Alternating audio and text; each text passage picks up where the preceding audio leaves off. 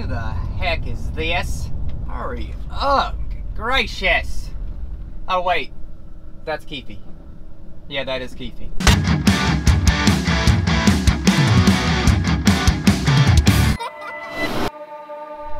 Hey guys, good morning or mid-morning. So we finished planting cotton Friday. So we got the 8330, got the cotton planter unhooked, hadn't cleaned it up yet. But we took the duals off the 8330, got the tank off, all the hoses, hydraulic pump, all that off, and now we've hooked it up to this. Get out of my way.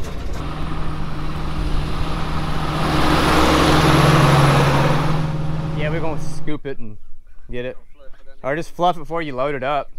Heck, you about to put me in the ditch over yonder, didn't you? Nah. Dang, it's a good one. Yep. I'm going to check this one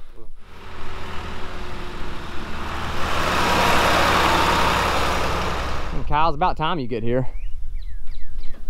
Been waiting for what a good 30 minutes. Of course it doesn't want to such a hurry. You're gonna be in the ditch back there.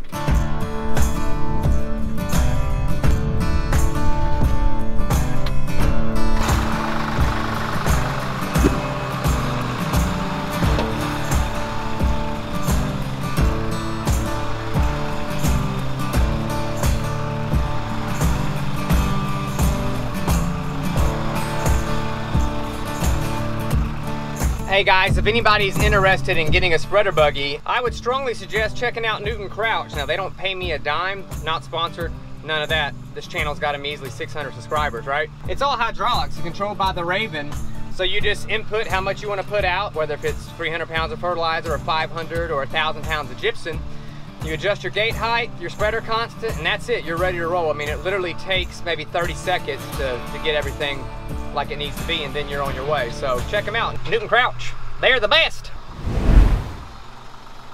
In the slap middle of a Newton Crouch buggy, and I'm sitting on gypsum, or land plaster as you call it. Now, we use gypsum to spread on our peanuts. These peanuts here are 55 days old. Right now is when we spread gypsum, and the reason we do that is to fill out the peanut. So if we don't spread this, there's a, this is pretty much calcium, right? So all this is calcium.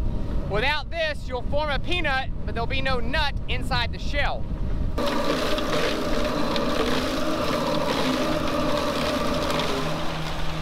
All right, so we're covering uh, 12 rows, so 36 feet. We can make it go a little bit further, but uh, we don't want to push it too hard. Gypsum, or funky monkey, land plaster, whatever you want to call it, uh, at a thousand pounds per acre. So we'll go across this whole field with a thousand pounds per acre. Now you can variable rate, spit my gum out. But we're just gonna do a thousand pounds. That seems to give us a, you know, a good yield with that. Most people won't show you their mess ups on a farm, but I'm gonna show you mine. You notice these rows here just get all kind of cattywampus. Cattywampus on us, cattywampus on us. Right, we got rows on top of rows. What happened is when I went to plant this, I got on the wrong line, thought it was the right one, and I planted this just a little bit, then I figured it out. You know, it's, it's at an angle. So when I came back, well then I got on the correct line. I said, well, I'll just plant the right one. So I pretty much planted peanuts on top of peanuts, but it's just this little 50 foot section. So it wasn't like the whole field was done that way.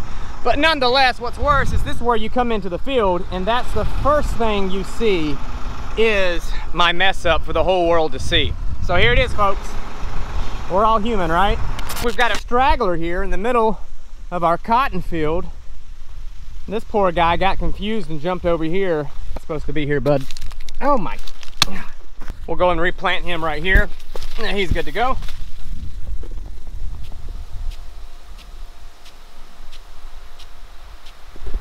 Oh snap, about to get wet.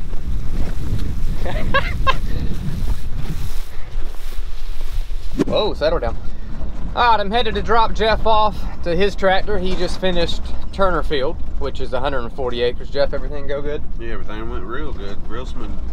But soon, Jeff, you're about to jump up to the 24 row. Yes, I can't wait. So then he can cover up. some sure enough ground. Well, we got one more field we're gonna do with this one, 100 acres, and then we'll be swapping back over. Get out of here. All right, I'm out of here. You gotta unlock me. Oh, I'm gonna get this pivot fired up. All right. We'll see.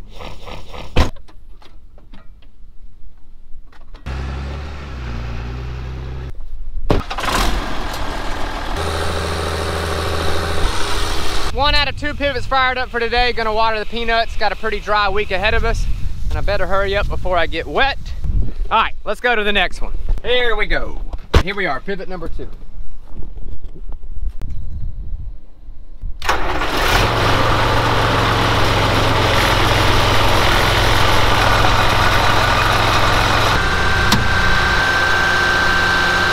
Oh, easy cowgirl, easy. Come on. Move. You know you want to move, just go ahead and move. Come on, I ain't got all day. Move. Eh, I should have moved by now. Come on. Come on. Yes, it moved, finally. Rode by this field. This is the field of cotton that we just finished up Friday. Today's Monday. Um, crazy how fast the stuff comes up. So this was just print printed Friday, and look, you already got it coming up. That Delta Pine boy is showing out. Uh, we got a triple dropped right there. We uh, should get some precision plates, maybe next year. Only three days, we've already got cotton speed. We already got cotton speed. We've already have cotton seed that is sprouted and is coming up. Fast growing stuff.